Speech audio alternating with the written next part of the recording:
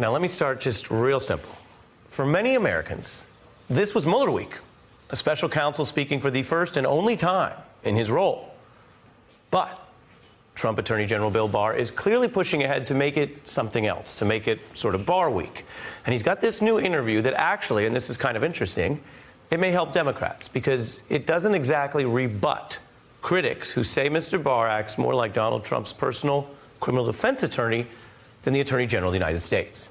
And Barr also knows what he's doing, so he's got news. He dishes some little tidbits of news of his own here, recounting even when he first got the letter of rebuke from Mueller for, according to Mueller, not capturing the scope of the report, of confusing the public. And Barr uses dramatic language today to dismiss concerns about his own reputation, and then he goes ahead and basically defies Mueller the special counsel was a little sharper on obstruction. I was just trying to state the bottom line, and the bottom line was that Bob Mueller identified some episodes. He he did not reach a conclusion. He wasn't exonerating the president, but he wasn't finding a crime either. Rod Rosenstein and I felt it was necessary for us, uh, as the heads of, uh, of the department, to reach that decision. Many of the instances would not amount to obstruction. Many of the instances would not amount to obstruction. Now, in fairness, the Mueller report itself does not state in its treatment of the evidence that every instance discussed was amounting to obstruction. So I want to be clear there. Barr is doing a lot of things that look a little bit embarrassing to him, but that doesn't mean that everything he says has no legal basis. So what's wrong here with this picture? Well, the Mueller report does state that its whole point and purpose was to provide the evidence to enable Congress to make a decision, not have Barr summarize it or re summarize it or mischaracterize it or rule on it. And that is something that Barr again deflects on here. My purpose there was not to summarize every jot and tittle of the report and every, uh, you know, uh, angle that, that that Mueller looked into, but uh, just state the bottom line, which I did in the four-page memo. I said that uh, Mueller uh, did not reach a decision. He, he gave both sides. Well, again, I wasn't trying to provide all the flavor and nooks and crannies of the of the report. Rod Rosenstein and I uh, reached a decision, and the criteria we applied in finding no obstruction. The fact is, we already know Bob Mueller thought the summary wasn't just inadequate or incomplete, but as he thought about his old colleague, you see here in some file footage, he thought this man, who he used to work with, who he clearly respected, fundamentally lost the thread. And that's why he immediately committed his objections in writing, telling Mr. Barr the summary didn't capture the context, the nature, the substance of Mueller's work and its conclusions. And that was sowing public confusion. Now I can tell you for the first time, Barr is actually recounting his side of receiving that unusual letter of rebuke from a man who, again, I want to say this respectfully, but I think accurately, a man who, at this juncture, has far more public credibility than Mr. Barr. Now, Mueller and Barr share that long history, and Barr reflected on that as well while talking about this letter he got from Mueller. He wrote the letter uh, taking issue, saying that you'd caused confusion. Mm-hmm. Did that catch you off guard? Yeah, sure. I, I was surprised he just didn't pick up the phone and call me, given our 30 year relationship. But why didn't he? I don't, I don't know. I don't know. I don't know. Well, maybe our guests know. Jason Johnson, politics editor for TheRoot.com, Paul Butler, a former federal prosecutor, and Sophia Nelson, counsel of the GOP House Oversight Committee. Good evening to each of you. Good evening, hey. Ari. Uh, Paul, Mr. Barr would have us believe that he doesn't understand why lawyers sometimes do things in writing rather than pick up the phone super cash when you're old buddies. Um, can you help him and, and, and the rest of us understand? You do it to preserve a record. You do it because you don't trust the guy you're writing the letter to. There's no reason why Mueller should have trusted Barr. Barr mischaracterized the report that Robert Mueller had spent two years working on, which is about our national security. So just fact checking that point. When yeah. he when he says something that I think could sound reasonable to people, right? If, if I knew someone for a very long time and I say, oh, well, they didn't just call me, in casual parlance, that's a reasonable sounding thing to say. You're, you're saying that he is trying to sound reasonable while hiding the fact that this really was a blow up between them that was bad enough to be in writing. Yeah, what Bill Barr did when he had that fake press conference where he mischaracterized the Mueller report is put the interest of Donald Trump ahead of the interest of the United States. So there's absolutely no reason why Mueller should have had any confidence in him. Hmm. Sophia?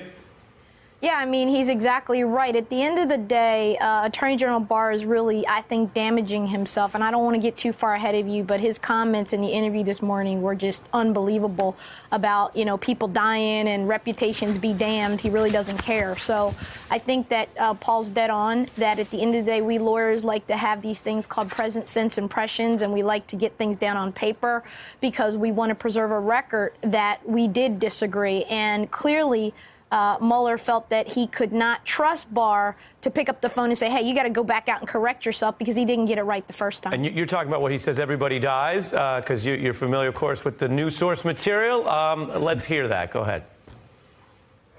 everyone dies, and I'm not, you know, uh, you know, I, I, I don't believe in the Homeric idea that you know immortality comes by you know having odes sung about you over the centuries. You know. Now, Sophia, based on what I know, and it is Friday of a long week, but my understanding is everyone does die. yep. So that is true. That's real. That's Uh, true. That it's real. That's very real.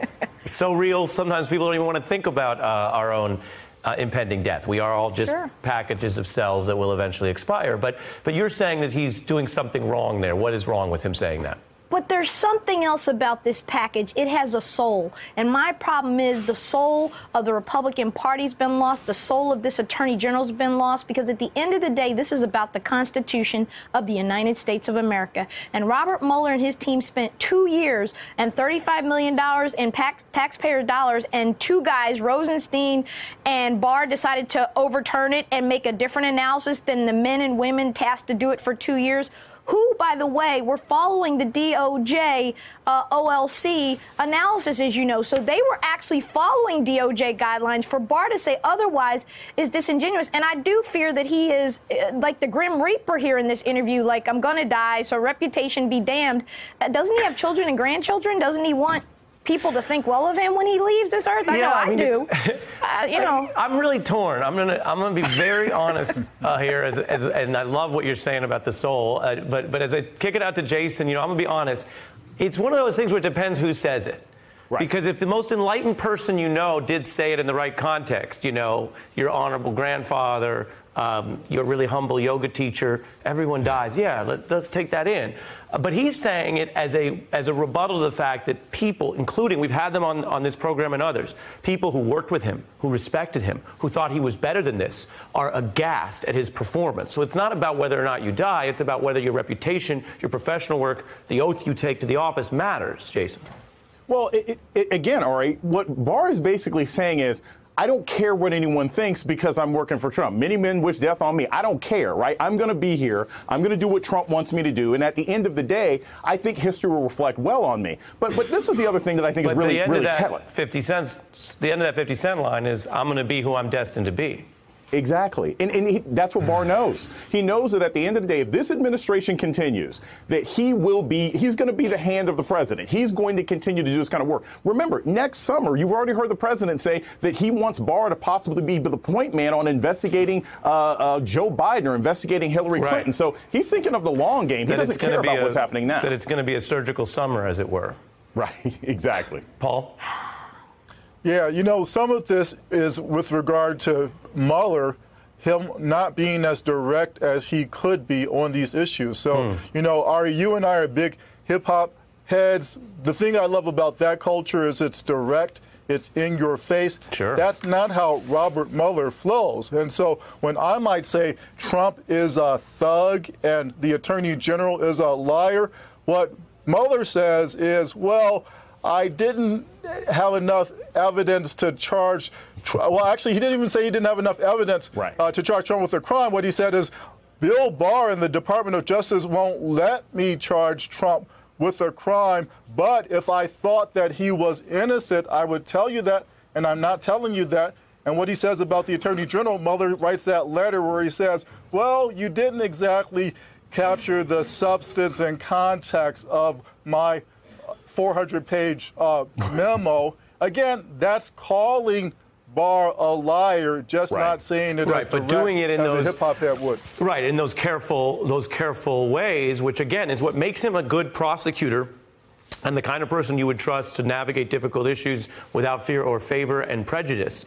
Um, but we are out here in the post report period, the 68 days between the report being turned in and him speaking in public and what that did. And, and then the question, Sophia, you worked uh, as a counsel to the Congress in a committee, and the question of mm-hmm. how the Congress is struggling with that. And that's where, again, I mean, we're just calling it as we see it. There are Democrats who very clearly seem to be struggling with how to talk about this, even the ones who say they're for an impeachment probe. Take a look.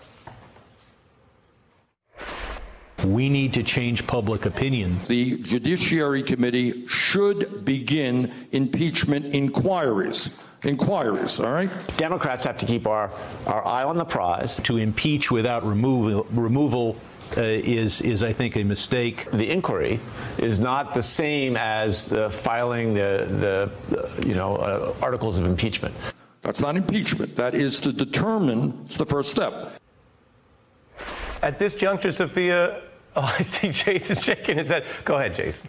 Yeah, it, And is then so, Sophia. This, this is so ridiculous. This is why I, I was very happy to see that Senator Harris and, and Senator Warren this week came out and said, you know what? Once I become president, as they were speaking confidently, I'm going to send a memo to the DOJ and I'm going to get rid of it because a hmm. lot of this comes from the fact that that Mueller was like, hey, I can't do anything. I can't indict a sitting president. That's sort of the core of this. So all the dancing around that the Democrats are doing now is also because of an interpretation that the Department of Justice that needs to be clarified or changed. If we have a president that can't be indicted, you're going to get that kind of word salad from Mueller, and that's where this problem comes from.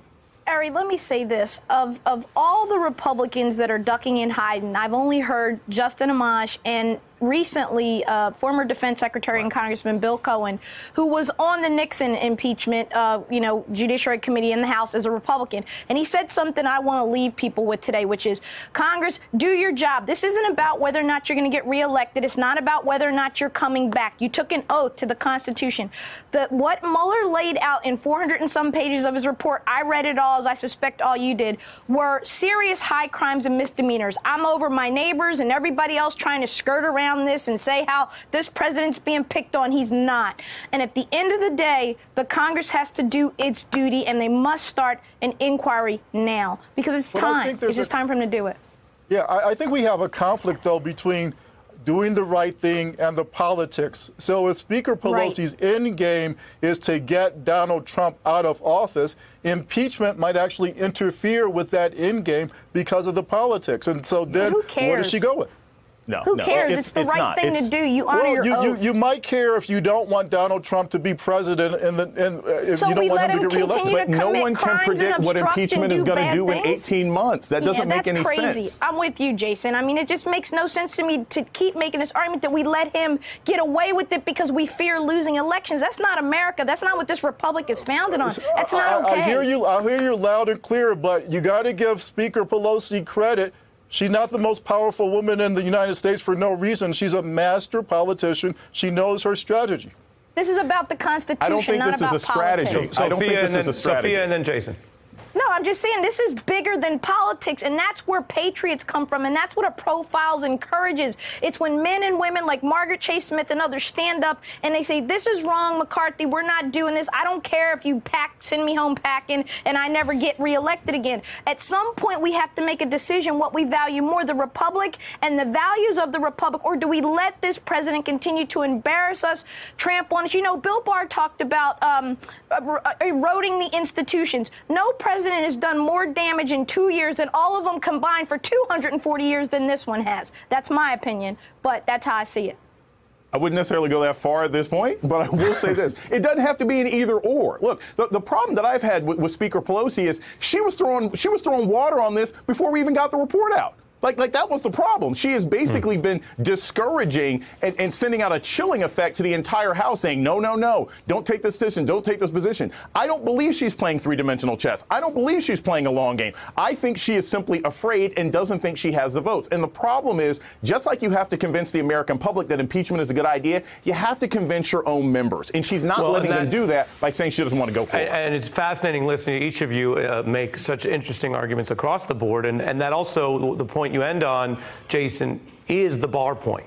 which is do you treat this as something that's just happening and watch it happen, or what he did, right? Unlike, say, your criticism of Pelosi, he came in very clearly with a view and he advocated it and he articulated it and he may have moved people on it. And we are at the highest stakes of interbranch legal, political, constitutional clashes, and who is fighting with a clear message and who is not, I think, is a part of this as we as we really end what was Mueller Barr week here.